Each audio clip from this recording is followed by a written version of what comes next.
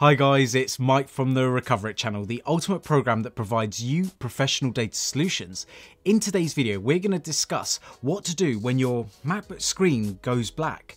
Despite being really reliable machines, even MacBooks can run into some different types of technical errors. The black screen is one of those errors that many MacBook users encounter. So in this video, we'll share different solutions that will help you troubleshoot the MacBook black screen problem and fix your laptop all by yourself.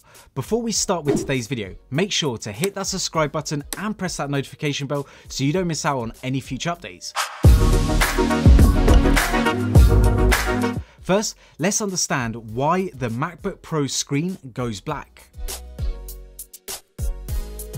It's important to understand that a MacBook screen can turn black due to a dozen reasons, so it can be quite difficult to pinpoint the primary cause of the problem, but there are a few common factors that can most likely cause the MacBook screen to turn black. These factors include when macOS has upgraded recently or by a third party application. Have you upgraded macOS or installed a new third party application? If yes, that might be the culprit. In many cases, new software updates have incompatibility issues which can trigger different technical errors and hence probably the Mac screen has gone black due to the new update. The second reason could be an improper connection between the power source and your Mac. It's possible that your Mac and the power source are not connected properly. We overlook these simple issues and this can create chaos. So if you need to check the MacBook is connected to the power source, then do it because this can cause a problem. And lastly, it could be because of an incorrect setting or security issue.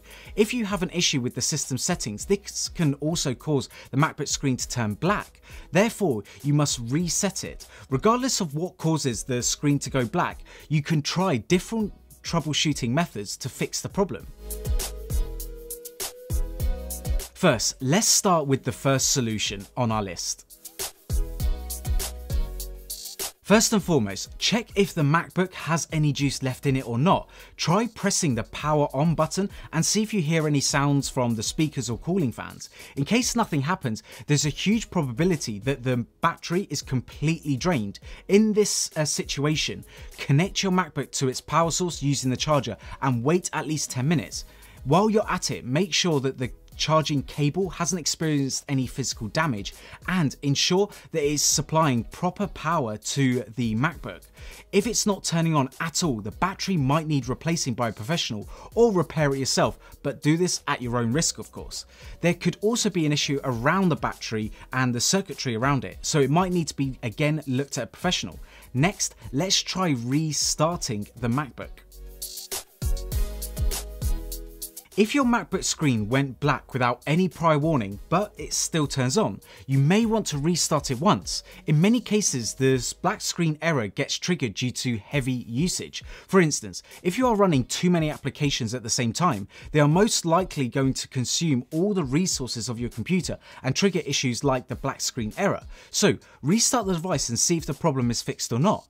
You can do a hard reset by pressing and holding the power button for 10 seconds. Another way to fix the the MacBook black screen error is to reset the NVRAM, also known as the PRAM. For people who don't know, NVRAM stands for Non-Volatile Random Access Memory that your MacBook uses to store different settings, for example, on your screen, speakers, hard drives, etc. The primary function of the NVRAM is to load all these settings quickly and start up the initial boot process. But the NVRAM can also cause different errors on your MacBook. So it's always a good idea and good strategy to reset it if your MacBook screen has gone black. Firstly, turn off your MacBook and press the power button again. Then immediately press and hold the Command, Option, P and R keys simultaneously. Wait for a few seconds and release the keys when you see the Apple logo flashing on your screen. That's it. It will reset the NVRAM on your MacBook and you won't have to deal with the black screen on your MacBook anymore. If you still see the black screen on your MacBook, the next step would be to reset the System Management Controller or SMC, as that is responsible for managing all the hardware on your laptop. This process will only work with MagSafe laptops. So here's how to reset the SMC on your MacBook. Turn off your device and connect it to this power source. Make sure that you use the MagSafe charger during the process. Now, keep the MacBook off and simultaneously press and hold the Shift, Control, Option power keys for 10 seconds. After 10 seconds, release the keys and turn on the MacBook to see if the black screen issue is resolved or not. Finally, if none of the solutions work, then you can try to fix the black screen problem by reinstalling macOS on your computer. Since reinstalling the entire operating system may cause data loss, it would be better to back up all your files beforehand. Here's how to reinstall macOS on your MacBook. Restart your laptop and press and hold the Command and R keys to enter recovery mode. You'll see the utilities window on the screen. Here click install macOS option and click continue. Based on which macOS you are running, follow the on-screen instructions to reinstall the operating system. Due to the MacBook black screen error, many users also end up losing valuable files and folders, especially when the screen goes black without any prior warning. So, if you are facing the same problem, we recommend using Wondershare Recoverit Data Recovery to recover your Mac data. Wondershare Recover is a professional data recovery tool that will help you retrieve all sorts of files and lost files on your MacBook. The tool supports multiple data types, which means that you'll be able to recover pictures, videos, documents, and more.